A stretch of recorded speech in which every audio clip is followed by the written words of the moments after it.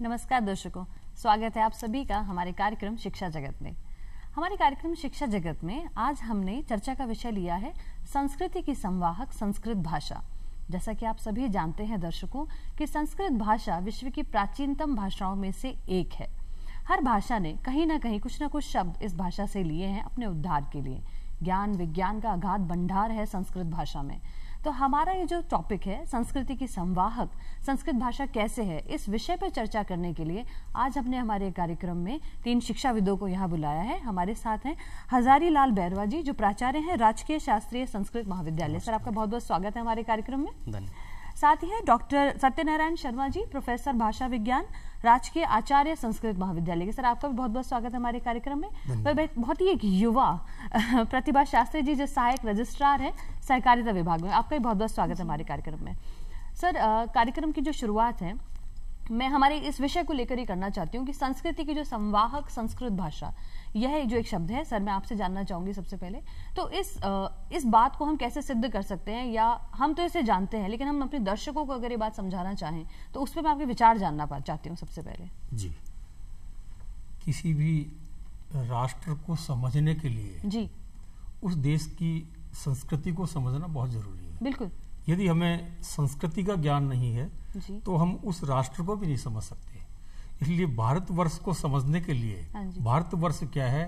प्राचीन भारत कैसा था? वर्तमान तक की उसकी यात्रा कैसी रही है? इस सबको मूल को जानने के लिए भारत की संस्कृति को समझना आवश्यक है। अब चूँकि संस्कृति को समझने के लिए उस संस्कृति के सारे सिद्धांत जिस भाषा में लिपिबद्ध है जिस भाषा में मुखरित है जिस भाषा साहित्य में चरितार्थ है हम्म, उस हम्म। भाषा को समझना आवश्यक है इसलिए भारत को समझने के लिए भारतीय संस्कृति को समझना ज़रूरी है और भारतीय संस्कृति को समझने के लिए उसका आधारभूत संस्कृत भाषा को समझना ज़रूरी इसीलिए ये सुक्ति कही गई है हम्म। भारत से प्रतिष्ठे द्वे संस्कृतम संस्कृति तथा अच्छा। भारत की दो मूल प्रतिष्ठाएँ हैं जिसमें भारतीय संस्कृति और उसके संवाहक भाषा के रूप में संस्कृत भाषा। इसलिए भारत को समझने के लिए हाँ। संस्कृत भाषा को समझना ज़रूरी है। अच्छा। यदि संस्कृत भाषा को कोई व्यक्ति नहीं जानता हम्म। तो वह भारत को कभी नहीं समझ सकता। क्योंकि भारतवर्ष का जो अपना मूल स्वरूप है उसको जानने के लिए हमें संस्कृत भाषा का ज्ञान अत्यावश्यक है। क्योंकि इसका जो प्राचीन स्वरूप है हाँ वो संस्कृत भाषा में है। इसीलिए कहा भी गया है एक देश प्रसूत सकाशादग्र जन्मन है स्वम स्वम चरित्रम शिक्षेरन पृथिव्याम सर्व मानव अच्छा। एक समय था जब विश्व की सभ्यताओं में भारतीय जो सभ्यता है वो सर्वोपरि थी। लेकिन उसका आधार भारतीय संस्कृति है। क्योंकि संस्कृति को यदि संस्कृति का क्या स्वरूप है इसको तात्विक रूप में हम समझे तो मानव मात्र की जनजीवन की जो कार्य व्यवहार की जो अभिव्यक्ति है वह अपने आप में संस्कृति है। उस अभिव्यक्ति का जो बाह्य स्वरूप है वह सभ्यता की श्रेणी में आता है। अच्छा। तो हम प्राचीन भारत का जो स्वरूप देखें तो हम देखें कहा गया उसके बारे में सा प्रथमा संस्कृति ही विश्व बारा। यानी विश्व की प्रथम वंदनीय संस्कृति कोई रही है तो भारतीय संस्कृति है। हम्म। और ये वर्तमान एक प्रसिद्ध भी है यूनान मिस्र रोमा सब मिट गए जहाँ से अच्छा एक हस्ती है कि अपनी हाँ। मिटती मिटती नहीं यहाँ से तो उसका आधार है भारतीय संस्कृति हाँ। और संस्कृत भाषा अच्छा। तो अच्छा। संस्कृत भाषा को समझने के पश्चात ही हम भारतीय संस्कृति को समझ सकेंगे हम्म। भारत के चरित्र को समझ सकेंगे भारत के ज्ञान विज्ञान को समझ सकेंगे भारतीय जनजीवन किस प्रकार का था हम्म, उसका हम्म, क्या स्तर था इसको समझ समझ सकेंगे उसके लिए हम संस्कृत भाषा के माध्यम से उस प्राचीन भारतीय साहित्य का अध्ययन हमें आवश्यक है। बहुत बढ़िया ये निश्चित रूप से शब्दों में आपने ये बात जो है हमारे जो विषय जो मुख्य विषय था इसको आपने सिद्ध किया है कि आ, किस तरह से संस्कृति को वाकई भारतीय संस्कृति को कैसे संस्कृत भाषा लेके आई है। प्रतिभा जी आप बहुत युवा हैं और संस्कृत विषय को लेकर के आप एक बहुत अच्छी राजस्थान प्रशासनिक सेवा में आई हैं। मैं इसी जो हमारा जो ये विषय है इस पर आपके विचार जानना चाहती हूँ। कैसे आपने विषय चुना? आप यहाँ क्यों आए? और क्या आप वाकई इससे सहमत है? क्योंकि युवा पीढ़ी का प्रतिनिधित्व अगर संस्कृत भाषा से हो रहा है तो ये बहुत ही गर्व की बात है हमारे लिए। अधिकांश युवा जहाँ आजकल टेक्निकल डिग्रीज में भाग रहे हैं। हमारे मुख्य विषय को लेकर आपने इतना अच्छा करियर बनाया है तो उसके बारे में भी बताइए। जी मैं दर्शकों को बताना चाहूँगी कि समाज में धारणा बैठ चुकी है कि संस्कृत पुरानी भाषा हो चुकी है आउटडेटेड लैंग्वेज हो चुकी है जो करियर ऑप्शन के तौर पर नकार दी गई है। हाँ। लेकिन ऐसा बिल्कुल नहीं है। ये बात बिल्कुल गलत है क्योंकि संस्कृत पुरानी कैसे हो सकती है? वो हमारी संस्कृति की संवाहिका भाषा है जैसा कि सर ने बताया अभी। हमारा, जी। हाँ बिल्कुल। तो ये तो संस्कृति को जीवंत बनाती है और जो। जीवंत बनाता है वो पुराना तो हो ही नहीं सकता है। जी। तो मैंने संस्कृत को लेकर के राजस्थान प्रशासनिक सेवा क्लियर की। और इसमें मुझे संस्कृत ने सबसे ज़्यादा सहायता प्रदान की अच्छा। अगर मैं सेकंड अपना ऑप्शन देखती हूँ मेरे पास हिस्ट्री रहा है तो हिस्ट्री में भी संस्कृत का सबसे ज़्यादा अच्छा। योगदान रहा है अच्छा। या अगर कोई भी छात्र अन्य विषयों के साथ संस्कृत का कॉम्बिनेशन रखता है जैसे पॉलिटिकल साइंस या जी। ज्योग्राफी कुछ भी रखता है तो संस्कृत लिटरेचर बहुत ही सहायक सिद्ध होगा क्योंकि अच्छा। एक साइंटिफिक सिलेबस है इसका। हम्म, हम्म। जो आप लर्न करोगे उसको रटने की ज़रूरत बिल्कुल नहीं पड़ेगी। आप उसको समझिए आत्मसात अपने आप हो जाएगा। हम्म, हम्म। और अगर हम करियर ऑप्शन की बात करते हैं अच्छा युवाओं के लिए अगर आगे देखते हैं तो आगे तो बहुत सारे करियर ऑप्शन खुले हुए हैं। अच्छा। हम। ये सोचते हैं कि संस्कृत से जॉब नहीं है नौकरियाँ नहीं है बहुत प्राचीन भाषा हो चुकी है कोई नहीं पढ़ता है लेकिन ऐसा बिल्कुल नहीं है। वो तो आप ज्वलंत उदाहरण है हमारे सामने कि आपने संस्कृत विषय को लेकर के जो करियर चुना है युवा तो शायद सोच भी नहीं सकते होंगे इस बारे में इसलिए मैंने आपसे खास तौर से ये सवाल पूछा था। अब इसी बातचीत को मैं हजारी सर से भी करना चाहूँगी। सर संस्कृत जो हमारी भाषा है जिसके बारे में हम यहाँ चर्चा के लिए आए हैं इस भाषा की कुछ खास विशेषताएँ आप हमें बताएँ। इस भाषा की बहुत विशेषताएँ हैं। जी। एक जो प्रमुख विशेषता ये है कि इसका व्याकरण जो है वो लार्जेस्ट है। अच्छा। सभी भाषाओं में बृहद व्याकरण संस्कृत का व्याकरण है जिसके प्रवर्तक पाणिनि रहे हैं। अच्छा। नरतावसाने नटराज राजो ननाद ढक्काम नव पंचवारम उद्धर्तु काम सनकादि सिद्धा नेतद विमर्शे शिव सूत्र जालम। शिव के डमरू से जो चौदह सूत्र पाणिनि ने ग्रहण किए उन चौदह सूत्र के आधार पर व्याकरण की रचना की। अच्छा। आई उण रील रिक ए ओंग ऐ औच इस प्रकार से चौदह सूत्र हैं। उनके आधार पर इतना वृहद व्याकरण की रचना की कि विश्व का सबसे बड़ा और सभी भाषाओं में सबसे वृहद व्याकरण जो है तो संस्कृत में है। अच्छा। और दूसरा ये कहना चाहूँगा हम्म। कि किसी भी भाषा का कोई वाक्य निर्माण होता है। अच्छा। तो उसमें यदि क्रिया और कर्म को आगे पीछे कर देते हैं क्रम चेंज कर देते हैं तो उसमें अर्थ परिवर्तित हो जाता है। अच्छा। जबकि संस्कृत में हम्म। आप कर्ता को पहले रखिए चाहे क्रिया को पहले रखिए चाहे कर्म को पहले रखिए कोई अर्थ परिवर्तित नहीं होता है। अच्छा बहुत बढ़िया है बहुत ही खास विशेषता है इसकी तो। जैसे अंग्रेज़ी में अगर क्रिया को पहले लगा देंगे तो प्रश्नवाचक चिन्ह बन जाता बिल्कुल। है संस्कृत में ऐसा नहीं है। अच्छा आप एक भाई राम है। पुस्तकम पठती। हम्म। इसका भी अर्थ वही निकलेगा। अच्छा। पठती राम है पुस्तकम इसका भी अर्थ वही निकलेगा। और पुस्तकम राम है पठती इसका भी अर्थ यही निकलेगा। ये तीन वाक्य तीन शब्दों से बन गए हैं। जी। लेकिन अर्थ परिवर्तित नहीं हुआ। ओके। हम्म हम्म। दूसरा उदाहरण हम देखें तो जैसे राम ने पेड़ पर चढ़ते हुए बंदर को देखा। अब यहाँ ये स्पष्ट नहीं हो रहा। हम्म हम्म ये वाक्य मैंने हिंदी में बोला हाँ जी। यहाँ स्पष्ट नहीं हो रहा कि राम पेड़ पर चढ़ रहा है या बंदर पेड़ पर चढ़ रहा है अच्छा लेकिन संस्कृत में इसका अगर कहीं अपन अनुवाद करेंगे हाँ। या संस्कृत में प्रयोग होगा हम्म। तो यह स्पष्ट हो जाएगा कि यहाँ कर्ता कौन है अच्छा। कर्ता में प्रथमा विभक्ति आएगी अगर राम करता है तो राम है आएगा हम्म। बंदर को देख रहा है तो उसमें कर्म आ जाएगा ओके इस ओके। प्रकार से उसका अर्थ स्पष्ट हो जाता है अच्छा और हम्म हम्म एक छोटा सा उदाहरण देना चाहूँगा कि हाँ जी। जैसे अंग्रेज़ी में हम कोमल लिखेंगे।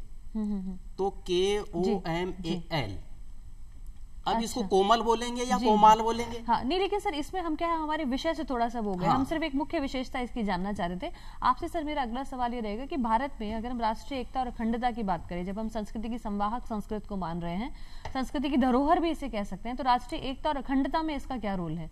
कैसे संस्कृत इसको बनाए रख रही है? इस पर आप थोड़ा प्रकाश डालें। जी ये बहुत प्रासंगिक विषय है। हम्म। हम यदि प्राचीन इतिहास के संदर्भों को देखते हैं हाँ जी। तो प्राचीन काल का सारा जो दर्पण है जी। वो प्रतिबिंबित हो रहा है संस्कृत के माध्यम से। अच्छा। चाहे भारत का इतिहास हो हम्म हम्म। चाहे भारत की संस्कृति हो भारत का जनजीवन किस प्रकार सा किस प्रकार का था हमारी वैज्ञानिकता किस प्रकार की थी उस वह सारा प्रतिबिंबित संस्कृत भाषा के माध्यम से हो रहा है। अच्छा। हम हमारे अतीत को जानने के लिए संस्कृत भाषा को ही आधार बनाते हैं। अच्छा। वैदिक काल से लेकर के आज तक जी। हमें ये ज्ञान होता है कि हमारी भारतीय संस्कृति किस प्रकार की थी। तो ये संस्कृत साहित्य के माध्यम से इसे समझा जा सकता है। यही केवल भारत में ही नहीं संपूर्ण विश्व में हमारी संस्कृति का प्रचार प्रसार किस प्रकार का था हाँ। उसे संस्कृत संस्कृत भाषा के माध्यम से समझा जा सकता है। अच्छा।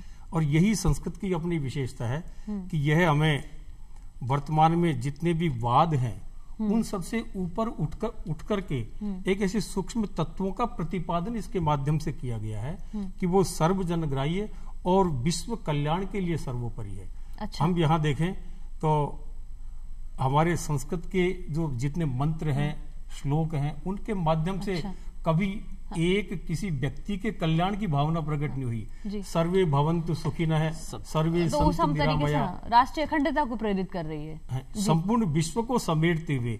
और राष्ट्र के लिए जहाँ तक इसमें प्रश्न है तो हम कश्मीर से लेकर के कन्याकुमारी तक यदि देखें हम्म, तो हमारी जो राष्ट्रीय एकता है उसका मूल आधार हमारी संस्कृति है। अच्छा। हम संस्कृत के माध्यम से जिस प्रकार से मंत्र बोलते हैं आम भारतीय सवेरे स्नान करते समय अच्छा। अपने जल के पात्र में भारतवर्ष की सारी नदियों का आह्वान करता है। और वह कल्पना करता है कि सारी नदियाँ गंगे च यमुने चैव गोदावरी सरस्वती नर्मदा सिंधु कावेरी। जलेस्मिन सन्निधिम कुरु। तो संपूर्ण भारतवर्ष नदियों के रूप में उस एक व्यक्ति के सामने पात्र में समाहित है। तो इस प्रकार से हम पर्वतों का स्मरण हमारी नदियों अच्छा। का स्मरण ये भारत की एकता और अखंडता। भारतवर्ष के किसी भी कोने में जहाँ जो व्यक्ति है वो अपने संपूर्ण तीर्थों का स्मरण करता है अपनी नदियों का स्मरण करता है और संस्कृत माध्यम संस्कृत भाषा में इन सब का बड़ा व्यापक रूप में प्रतिपादन है। हाँ कहीं ना कहीं हम इससे संदर्भ ले सकते हैं कि कहीं ये एकता को प्रतिपादित तो कर रहा है कहीं ना कहीं योगदान संस्कृत का हमें नज़र आता है। प्रतिभा जी आपने संस्कृत विषय को लेकर के रिसर्च किया है शोध किया है किस विषय में आपने शोध किया है? जी मैं संस्कृत में पीएचडी कर रही हूँ अभी। अच्छा अभी आप कर रहे हैं? किस विषय में मतलब मेरा क्या है? पीएचडी का टॉपिक है शुक्र नीति एक टेक्स्ट है। अच्छा। उसमें राष्ट्रीय सुरक्षा व्यवस्था। राष्ट्रीय सुरक्षा व्यवस्था। जी। तो ये शोध का जो विषय है आपका संस्कृत का इसमें कहीं आपको अ, संस्कृत को लेकर के आपके क्या वो रहते हैं? जी संस्कृत इसमें मैं ये बताना चाहती हूँ कि शुक्र निधि जो टेक्स्ट मैंने लिया है इसमें मैं शोध कर रही हूँ इसमें सिर्फ़ संस्कृत ही नहीं है इसमें सारे विषय इसमें समाहित है अच्छा। इसमें ज्योतिष भी है इसमें वास्तुशास्त्र भी है इसमें राजनीति भी है इसमें इतिहास भी है इसमें अर्थशास्त्र भी है अच्छा। तो अगर हम संस्कृत पढ़ते हैं तो हम कहीं से भी अधूरे नहीं रहते हैं। हम सारे विषयों का ज्ञान अपने में समाहित करके चलते हैं। जैसा कि सर ने बताया कि हाँ एक पात्र में जब सारा नदियाँ सारे सब कुछ हम स्मरण कर लेते हैं उसी प्रकार संस्कृत पढ़ते हैं तो हमें सारे संपूर्ण विषयों का हमको पूर्ण ज्ञान होता है। अच्छा। तो इस प्रकार से संस्कृत मुझे अपने ज्ञान को बढ़ाने में भी सहायक है और मेरे जीवन दर्शन में भी सहायक रही है अच्छा। कि कहाँ मैं अपने राष्ट्र के अखंडता में अपना योगदान दे सकती हूँ। ये मुझे अपने शोध विषय ने मुझे प्रेरित किया है। बहुत खूब। सर जब हम संस्कृत की बात करें भाषा की और साथ में हम ये भी कह रहे हैं कि हर भाषा को कहीं ना कहीं संस्कृत से ही शब्द मिले हुए हैं। है ना? तो संस्कृत के कम्युनिकेशन को या फिर इसके मतलब बातचीत की शैली भी बढ़नी चाहिए। क्या कहीं संस्कृत के विकास में संस्कृत संभाषण शिविर या कहीं कुछ ऐसा किया जा रहा है इसके विकास के लिए जैसे बातचीत में भी संस्कृत का बड़ा हो? संस्कृत बोलचाल की भाषा बने। इसके लिए एक अभियान चल रहा है। कई संस्थाएँ संस्कृत संभाषण शिविरों का आयोजन करती है। अच्छा। संस्कृत भारती एक ऐसी संस्था है जो 10 दिन में जी। प्रतिदिन दो घंटे के हिसाब से यानी कि 20 घंटे में संस्कृत बोलना धारा प्रवाह बोलना अच्छा, ये। सिखाती है। अच्छा। भारत संस्कृत परिषद हाँ, यह भी एक पुरानी संस्था है। जी। वो भी संस्कृत बोलचाल की भाषा बने इसके लिए प्रयास कर रही है। अच्छा। और इस प्रकार के आवासीय शिविर भी लगते हैं अच्छा। जहाँ मतलब वहाँ रह के वो उन बालिकाएँ है। अ, दिन रात रह करके संस्कृतमय वातावरण रहता है वहाँ। अच्छा। भोजन करेंगे वहाँ भी संस्कृत बोलेंगे।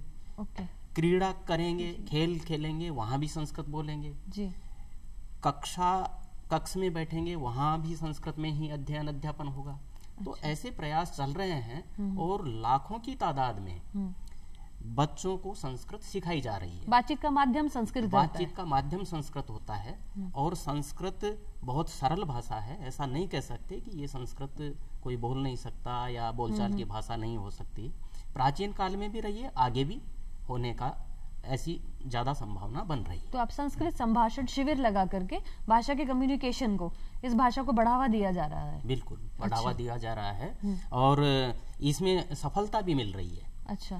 इसके साथ साथ संस्कृत के जो संभाषण शिविर मिल होते हैं हम्म। आयोजित करते हैं उसमें संस्कार निर्माण पर भी ज़ोर दिया जाता है। अच्छा। संस्कृत से ही संस्कार निर्माण होता है। मतलब बच्चों को मॉरली इसके लिए एजुकेट हाँ, करते हैं। जो अभी वातावरण थोड़ा सा वो हो रहा है उसमें संस्कारों पर फोकस करना अच्छा, बहुत। ज़रूरी हो गया। बिल्कुल बहुत ज़रूरी है। जैसा कि आजकल के प्रोफेसर साहब ने बताया अभी कि चरित्र निर्माण की शिक्षा लेने के लिए हम्म। एतद्देश प्रसूत से तो शिक्षा लेने के लिए यहाँ आते थे लोग। हम्म। विदेशों से भी आते थे। जी। अब उल्टा हो रहा है कि हम पाश्चात्य की तरफ़ देख रहे हैं हम्म। इसलिए ये करप्शन बढ़ रहा है। उसको रोकने के लिए संस्कृत सबसे सहायक सिद्ध हो रही है। संस्कृत पढ़ा हुआ कोई भी अधिकारी कर्मचारी। छात्र नागरिक वो अपना दायित्व बखूबी निर्भा- निभाता है। अच्छा। भ्रष्टाचार में लिप्त नहीं रहता। मतलब आपको लगता है उससे मॉरली वो ज़्यादा डेवलप वो ज़्यादा develop ये भाषा अपने आप में नैतिकता का ज़्यादा वो करती है नैतिकता की शिक्षा इसमें ज़्यादा मिलती है। अन्य भाषाओं से? अन्य भाषाओं की तुलना। अच्छा। इसमें भौतिकवाद का हम्म। कम है बढ़ावा। और एक तरह से संतोषजनक स्थिति हम्म। वो होती है। अच्छा तो कहीं ना कहीं मतलब व्यक्तित्व निर्माण के अंदर संस्कृत भाषा का योगदान क्योंकि संस्कृति जो है हमारी इसकी गूंज और भी आगे पहुंचेगी अगर हर व्यक्ति का व्यक्तित्व जो है वो और भी ज़्यादा उज्जवल होगा। तो आपको भी लगता है सर इसमें कि संस्कृत व्यक्तित्व निर्माण में भी सहायक है व्यक्ति के इंडिविजुअली ये बड़ा व्यापक प्रश्न है। अच्छा लेकिन हम इसे यहाँ संक्षिप्त में चर्चा करेंगे इसके ऊपर। व्यक्तित्व निर्माण हमें इसके लिए गीता का एक उदाहरण देखना होगा। जी। भगवान श्री कृष्ण वासुदेव अर्जुन को कहते हैं कि हमारा दो प्रकार का शरीर है। अच्छा। एक बाह्य शरीर है जो स्थूल है हम्म हम्म। और एक इसके अंदर और शरीर है जो दिखाई नहीं देता। जी। बाह्य शरीर पंच महाभूतों से मिलकर के बना है ये नश्वर है। अंदर का शरीर सूक्ष्म शरीर है जिसमें हम मन बुद्धि प्राण और जीव को कह सकते हैं। अब चूँकि संस्कारित जो किया जाता है वो अंतःकरण को किया जाता है।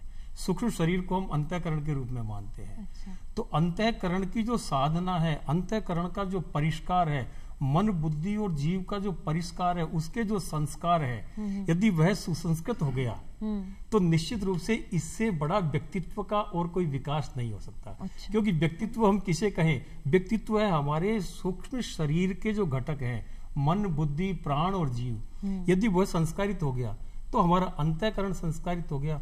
संस्कारित अंतःकरण में किसी प्रकार के पतन की कोई संभावना नहीं होती जिसे हम कंप्लीट मैन के रूप में कहें। भगवान श्री कृष्ण का जो अपना व्यक्तित्व है तो उन्होंने इसको सिद्ध किया कि हमें अंतःकरण की साधना करनी चाहिए अंतःकरण का परिष्कार करना चाहिए। उन सबके साधन भारतीय संस्कृति में हम देखें तो बच्चे के गर्भ से लेकर के अंत्येष्टि तक हमें हमारे सोलह जो संस्कार है वो पग पग पर उसके व्यक्तित्व के परिष्कार के लिए व्यक्तित्व के निर्माण के लिए सबसे बड़े साधन हमारे सोलह संस्कार है। हमने अभिमन्यु का उदाहरण महाभारत का पढ़ा है कि गर्भ में ही उसने चक्रव्यूह वेदन की शिक्षा किस प्रकार से प्राप्त कर ली थी। तो अंतःकरण के संस्कार के लिए व्यक्तित्व के निर्माण के लिए हमारा जो सूक्ष्म शरीर है इसकी साधना हमारी संस्कृति हमारे साहित्य में समझाई गई है और निश्चित रूप से एक व्यक्तित्व परिष्कार के लिए वर्तमान में जो एक धारा चल पड़ी है।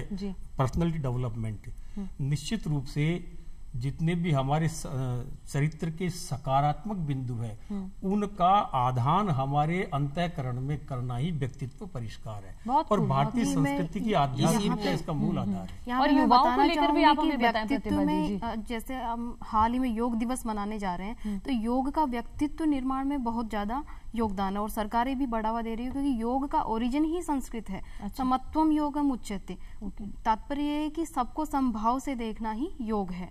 तो योग से व्यक्तित्व निर्माण ये हो रहा है कि हम भाई भतीजावाद नहीं करें भेदभाव नहीं करें यही हमारा पर्सनैलिटी डेवलपमेंट होगा। हम्म हम्म हम्म। इसका युवाओं पे आपको क्या असर दिखाई देता है?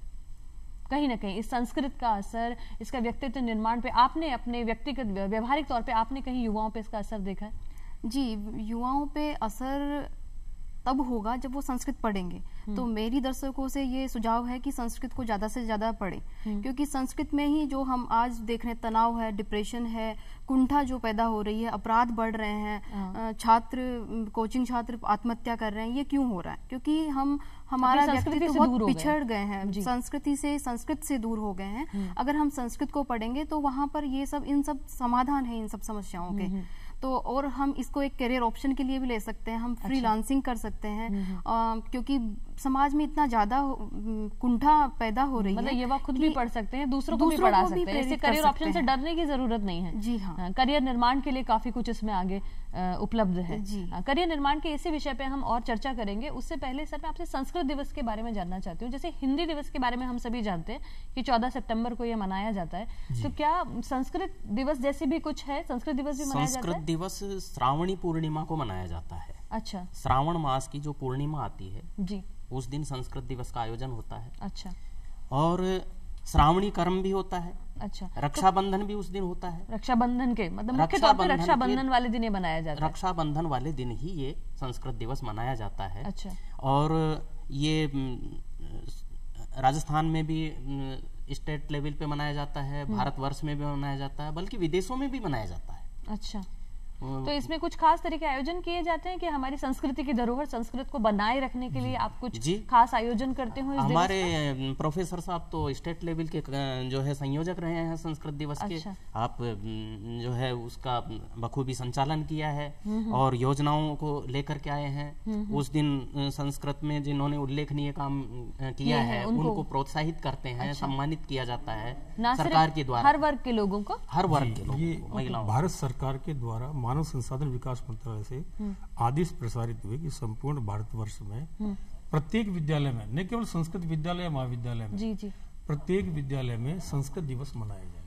उस दिन रक्षाबंधन के दिन ये तो इस रक्षाबंधन के दिन को आधारित करके राजस्थान में विशेष रूप से इसका आयोजन होता है यानी संस्कृत दिवस को आधारित करके इसके उपलक्ष्य में संस्कृत विद्वानों का सम्मान किया जाता है। अच्छा। यानी संस्कृत दिवस के अंतर्गत राज्य स्तरीय संस्कृत विद्वानों का सम्मान। हाँ। तो यह राजस्थान यह भी बहुत ज़रूरी है जो लोग संस्कृत से जुड़े हुए हैं उन्हें भी ये कहीं ना कहीं महसूस होना चाहिए कि हमारी भाषा का सम्मान हाँ, हो रहा जो है। राजस्थान में जो भी संस्कृत के क्षेत्र में चाहे संस्कृत के साहित्यकार हो रचनाकार हो या संस्कृत के प्रचार प्रसार में जिनका अमूल्य योगदान है उन सबको विभिन्न प्रकार के पुरस्कार और सम्मानों से तब वे विद्यार्थी संस्कृत के वे विद्यार्थी जो विश्वविद्यालय के स्तर पर तथा बोर्ड के स्तर पर जिन्होंने सर्वोच्च अंक प्राप्त किए हैं संपूर्ण राजस्थान के उन विद्यार्थियों का यानी सभी विश्व राज्य की विश्वविद्यालय के विद्यार्थियों का बोर्ड के विद्यार्थियों का जो मेरिट होल्डर्स है उन सबका वहाँ सम्मान किया जाता है।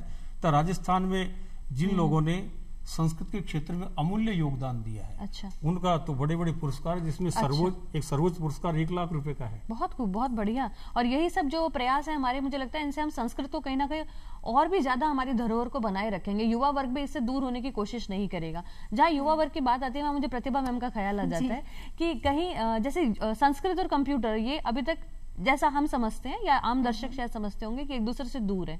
क्या ये धारणा अभी भी है? क्या कंप्यूटर और संस्कृत का मिलाप हो चुका है क्या? मेरी बात का सिर्फ़ एक तात्पर्य यह है। क्या अब कंप्यूटर ने संस्कृत को एक्सेप्ट कर लिया है? जी हाँ दीपाली जी आपने बिल्कुल सही कहा। संस्कृत को कंप्यूटर ने एडोप्ट कर लिया है। एक्चुअली संस्कृत की जो ग्रामर है वो बहुत ही साइंटिफिक है और संस्कृत के लिए सबसे ज़्यादा सुटेबल है। ये वैज्ञानिक तरीके से भी ये प्रूव हो चुका है। अच्छा। और अगर हम बात करें मोबाइल एक मिनी कंप्यूटर हमारे पास हरदम रहता है तो मोबाइल में भी भारतीय भाषाओं का पूरा सॉफ्टवेयर अडोप्ट हो चुका है। बिल्कुल। जिसमें संस्कृत भी है देवनागरी सारी भाषाएँ हैं। माइक्रोसॉफ्ट ने भी टूल्स बना रहा है माइक्रोसॉफ्ट भी जिसमें संस्कृत भी एक भाषा है। आज हम मोबाइल पे संस्कृत को टाइप करके हम टेक्स्ट बना सकते हैं मैसेज भेज सकते हैं अच्छा। और आगे संदेश भी भेज सकते हैं। बहुत खूब। मतलब मोबाइल और कंप्यूटर संस्कृत और कंप्यूटर का मिलाप हो चुका है। मेरी बात का जो तात्पर्य हाँ। मैं आपसे जानना चाहती मैं। अ, मैं आपसे क्षमा चाहती हूँ। चर्चा का विषय हमारे पास अभी जो ये जो हमारा जो टॉपिक है संस्कृति की संवाहक संस्कृत यह इसके लिए समयावधि जरा कम हो गई है। वरना ये विषय ऐसा है क्योंकि हमारी अमूल्य धरोहर है जिसमें हम लगातार चर्चा कर सकते हैं। आप तीनों हमारे कार्यक्रम में आए उसके लिए मैं आप लोगों की बहुत आभारी हूँ। संस्कृत के ऊपर आपने हमारे दर्शकों को इतनी जानकारी दी अमूल्य सुझाव विचार आपके सभी सम्माननीय और सराहनीय हैं। इसी के साथ दर्शकों, मैं आपसे कहना चाहती हूँ कि हमारा जो आज का कार्यक्रम है, इसका खास तौर पर निष्कर्ष यह निकलता है कि हमारी भाषा अंग्रेज़ी से जरा थोड़ा सा दूर हो जाइए। हमारी जो खास भाषा है, वह है संस्कृत। हमारी संस्कृति की धरोहर है संस्कृत। संस्कृत के प्रति अपना प्रेम बढ़ाइए, संस्कृत पर अपनी जानकारी बढ़ाइए और देखिए, ना सिर्फ़ भाषा आपकी वर्तनी में और आपकी बहुत सी चीज़ों में सुधार होगा। इसी उम्मीद के साथ कि आने वाले वर्षों में, आने वाले हफ्तों में संस्कृत प्रति आपका प्रेम और बढ़ेगा। मैं आज अपने कार्यक्रम शिक्षा जगत में आपसे विदा लेना चाहती हूँ। अगले हफ़्ते फिर मुलाकात होगी किसी नए विषय पर, किसी नई चर्चा के साथ। तब तक के लिए नमस्कार।